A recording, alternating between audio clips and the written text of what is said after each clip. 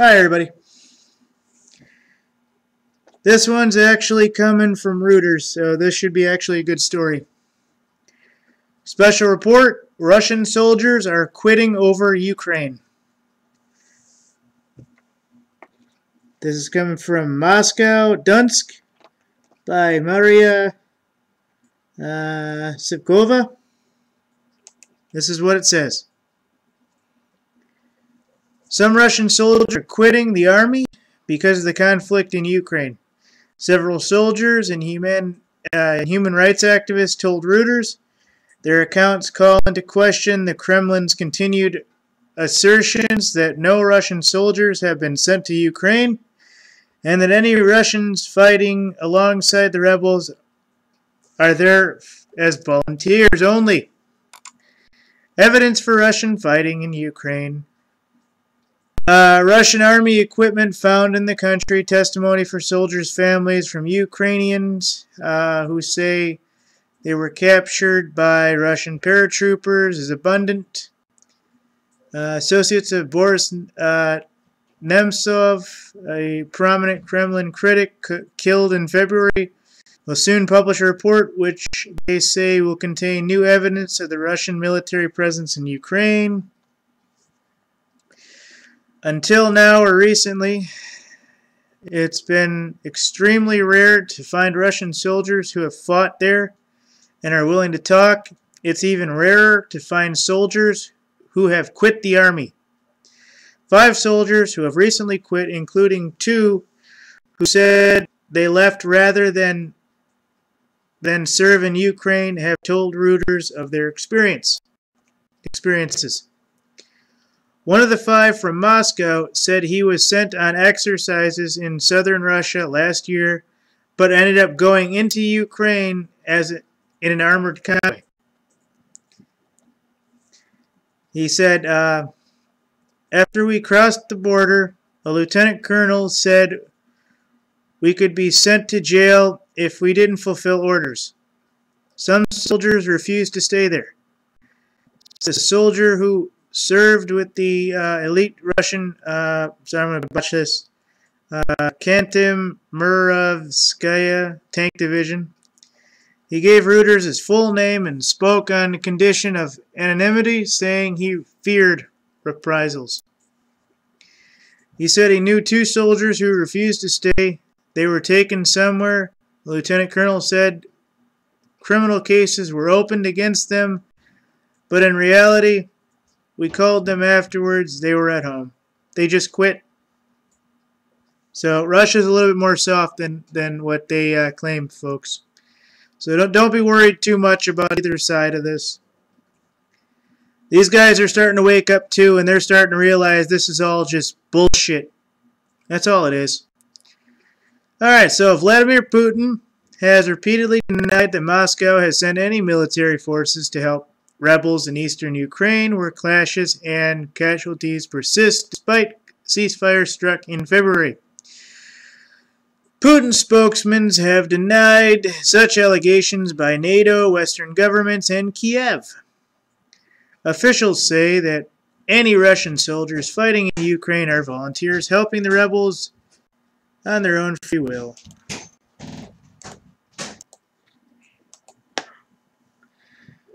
Alright, so the former Russian soldiers, he spoke to Reuters as well. Okay, we already did that. Okay, here we go. The former tank soldier from Moscow said he would not have gone to Ukraine voluntarily. No, for what? That's not our war. If our troops were officially there, it would be a different story. But the troops were not officially there. They were only sending certain units at certain times with certain strengths. He said he had been sent to fight in Ukraine last summer and returned to Russia in September, when the first peace talks took place. His crew opera, operated under a modernized Russian uh, T-72 B-3 tank, he said, and armored uh, tank unit or convoy thereof. Back in Russia, he said, we were lined up and told that everyone would get a daily allowance, extras for fighting and medals, he said. But he said that they did not get the extras they expected. We decided to quit. There were 14 of us. The names of nine soldiers who quit the tank division are mentioned in an exchange of letters between uh, Miskovitz, the head of the Human Resources Department of Russia's Western Military District, and Valentina uh, Melnikova, who runs the Alliance of Soldiers Mothers Commit, uh, Committees, a group based in Moscow. Oh, their mothers want them home. That's so cute. Definitely not the Russia that I would be thinking of. Yes, I'm still on the World War II. If you drop a gun, or when the guy in front of you drops a gun, the guy in back picks it up. Yeah, that's the kind of Russia I'm thinking of. Not like this. I, I'm sorry. I don't mean to be rude. I'm from at least part of that side of the world. I have no idea what it's like. I've never been there. In the letter seen by Reuters, human rights workers asked uh, Miskovitz to approve the soldiers' resignations, which one soldier told Reuters the military had been unwilling to do. Letters do not mention service in Ukraine. The soldiers left the service on December 12, according to the letter signed by Miskovitz. He and his deputy did not answer calls. Three soldiers from the list contacted Reuters, confirmed that he had quit the service, but recently declined to discuss Ukraine. A spokesman from the Ministry of Defense declined to comment on soldiers quitting the tank unit being sent to Ukraine. Uh, let's see how big is this. Oh God. Okay, so let me let me let me just see this real quick. Here's the what is this? says financial incentives. So that's what they're given. Field conditions, what you can and cannot do, and what's going to happen. Spotted in Donbas. Hang on. This is going to be a lot. Okay, I, I can I can go through the first part at least. Yeah. Since it mentioned their financial incentives, I'll read what they were promised. In Russia, all men aged 18 to 27 have to serve 12 months in the military. By law, these conscripts cannot be sent abroad. But according to human rights activists, military officials have been promising conscripts financial incentives to sign contracts and make them professional soldiers. The officials then push soldiers into going to Ukraine. Sergei uh, head of the rights group Citizen Army Rights, a member of Human Rights Council created by the Kremlin, has dealt with soldiers' rights since the early 2000s. He said military commanders are trying to find more people who will go to Ukraine voluntarily. But this is still volunteers, in quotations, in quotation marks, because there is harsh pressure. Uh, Krivenko said commanders take a carrot and stick approach. They offer large financial rewards to contact soldiers willing to go to Ukraine. If soldiers refuse, they're told to resign. He said, You can't criminally prosecute someone for not following orders because the order itself doesn't exist on paper. It's only oral. That's right. Hear that? The order itself does not exist on paper, it's only oral. Since 2012, contract soldiers' pay has risen. Krivenko, who traveled to uh, Murmansk to meet soldiers, about 30 of whom uh, told him they were been to Ukraine. Now they've received 20, 30, and 40,000 rubles a month depending on their rank. Some even 60,000 a month. Alright, uh, the average wage in Russia is about 30 rubles or $580 for being in the military a month. I don't know, that might not be so bad. Especially if it's like US where you really don't have to pay anything. or like taxes and stuff. Resignation is not an easy decision for the soldiers. Just like others in Russia, they're paying off apartments, foreign-made cars. The question becomes, where do they find the money to pay off debts to feed their families? All right. Da, da, da, Let's see. What is field conditions? Yeah, I'm going to read field conditions, and I'm not going to read the other one. Field conditions. Another soldier who said he quit the army over the Ukraine conflict is a 21-year-old who was a member of the Grad missile unit.